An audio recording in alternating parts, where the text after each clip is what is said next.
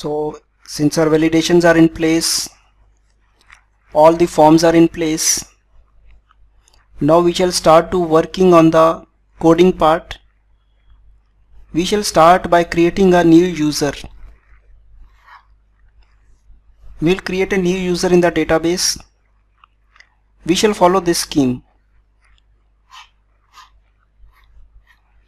Take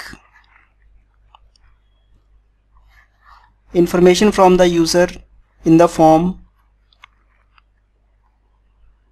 hash the password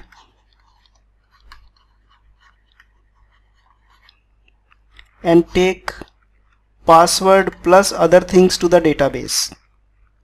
And then inform the user that you have been created and your password is this we can let us say set a default password called hoven. We are not asking the user to enter a password at the creation time. We are just asking his email and phone number. After proper validation we shall receive these values in the function action method. Set the password as hoven. Hash it and send it to the database and then give the feedback that you have been created successfully and your password is this. This means before we proceed we should first of all see what we have at in our hands at present. This is the data entry form and this is the controller action controller for it in the new user I can do one thing. I can place a message here. For this I can write if string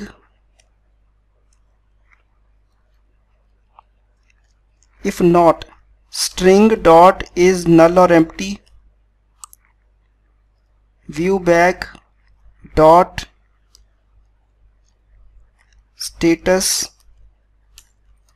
message.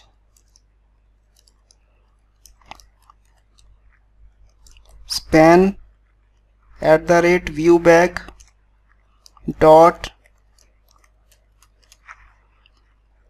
So when we'll do something of interest in our action method we'll fill viewbag dot status and that message will be reflected on the form to the user we'll be bringing to the user to the same page and displaying the message. So what happens when the user clicks this submit? When the user clicks this submit this data will be posted back to the same address from where this page was shown. This page is shown from the action method called index uh, create user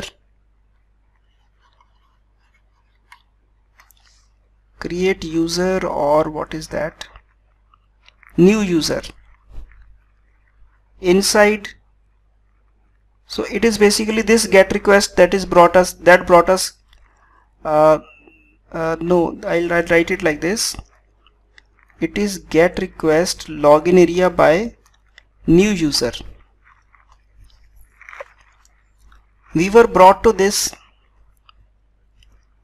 by the get request called login area by new user.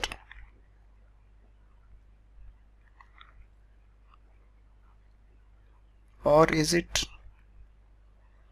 it is not new user it is user by new user. In the address bar login area by user user for this controller and by new user for this action method. When this is called you are displaying him an empty form. And when this is the empty form. When he clicks the submit he is sent to the same address that is login area by user by new user but through the post request. This means the receiver of this data will be the same method but with HTTP post. So by default if you are getting to some play uh, to some page, uh, page through a get request in the browser. And a submit button is there and nothing is written in the arguments for html dot begin form just empty round brackets then you will be posted back to the same thing that is written in the address bar. Of course there are uh, arguments possible so that you can post the data to some other page. Since in our form we haven't put anything anything specification of that type so by default the user will be posted back to this action method.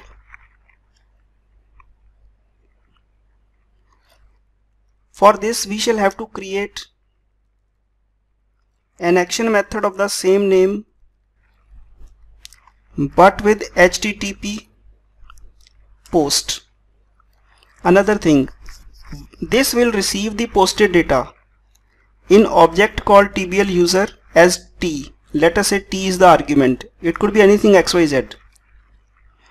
So the data you are getting is in tbl user object here.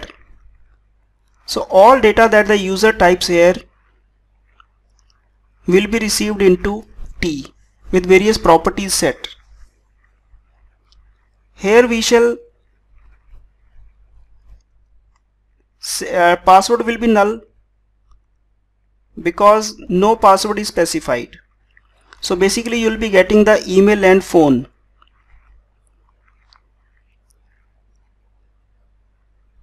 So we'll have to actually add the additional thing for password we can now begin to write the code here but before that we can write a function to hash the password.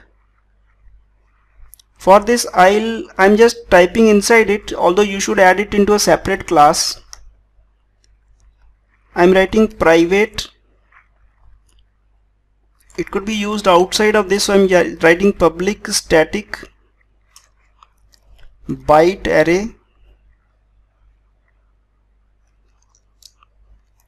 get sha or we can write our own hash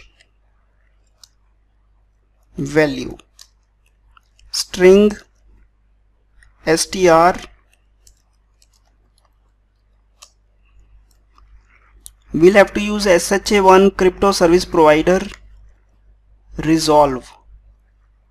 Resolve to system.security.cryptography so these are the spellings which you should be aware of obj is equal to new provider. Then we can write obj dot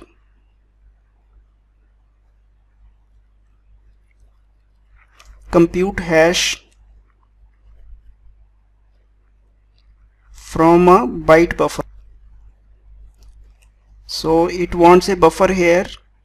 We can use system dot encoding is not coming. Dot text dot encoding dot ascii dot get bytes. From this as a str this is what we'll have to ultimately return return the computed hash for the incoming string. Now does it implement i disposable? Let me check out obj dot dis yes. Since this is this implements i disposable i should write using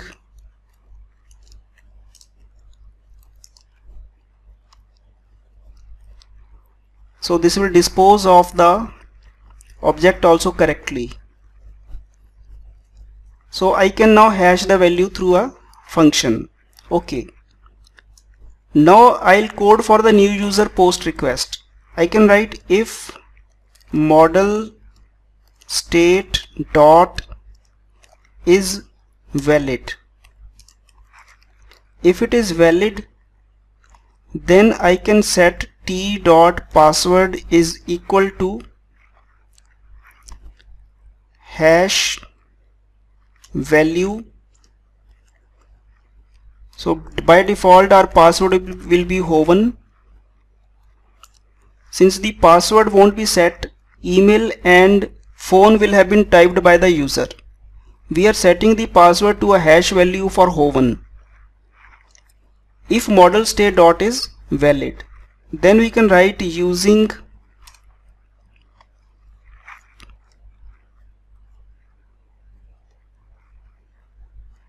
db user entities ctxt is equal to new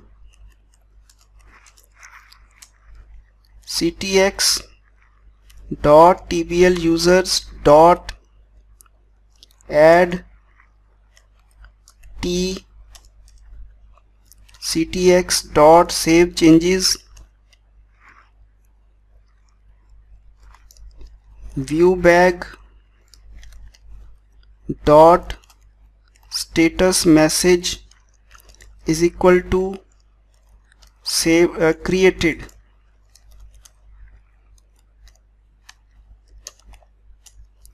Your password is equal to hoven we can write any other message like you are advised to change it uh, early or whatever and here I'll write else. Else we can write view bag dot status message is equal to some errors occurred. Retry. So this is what our whole story is going to be. Now we can run it and verify it and then we can discuss it. We are to go to the new user. Here we can type any email abc at the rate a dot com phone double nine double eight zero eleven nine seventy five. Click on the create user. Some errors occurred retry. We can now go to look for this error. What could be the reason? Coming back here most probably what I think is that this password is being stored later and testing is being done earlier. This line should be moved outside here. So I have to write t dot remove that error. Model state dot remove I have to manually remove the error for the password because password is a required field otherwise and we are setting it to empty. We are setting it to empty when the form is being uh, when the data is being saved. And in this line although I am setting the password but the error is still not removed from the model state. So I am removing the error, error for the password from the model state and this will validate it and then let us see whether we are able to create or not. Okay, let us run it now. Login, new user.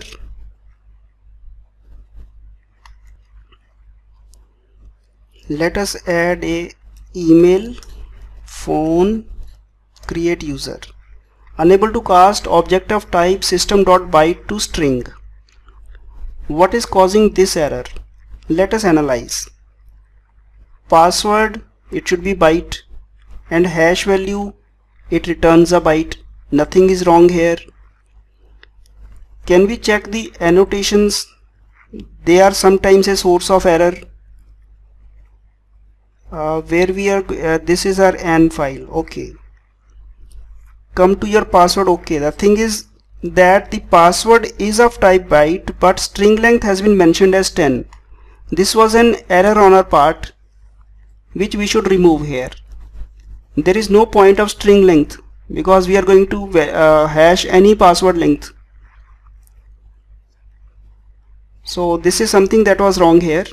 Let us now run it and see whether we are able to create a user or not.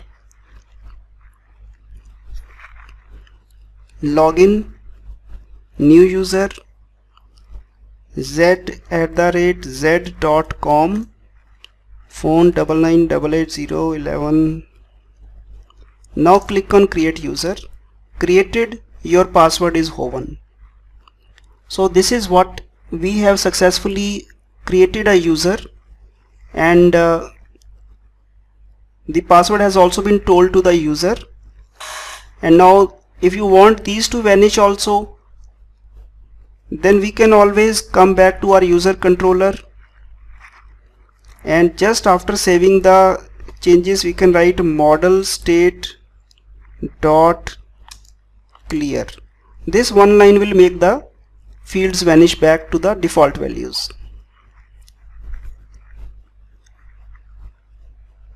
login new user email r at the rate r dot com password create user so the moment the user is created these are defaulted back to empty values so with this we have succeeded in creating a new user. Here we encountered some of the problems. One was to remove this password error from the model state. When you are returning this TBL user object from your form, password is not there because we are not asking the user to enter the initial password the password is not there so t receives its property t dot password as null. And since it is null and database says that this is not nullable this causes model state to have a validation error for password. So we have to so remove the password error manually. Then we had another problem that was related to conversion of string to byte. We had put a wrong annotation here which was meaningless in this case. And it was trying to Validate the password by converting byte to string. That was definitely the source of error there. So uh, with this our module is complete. We'll close it right now. Thanks.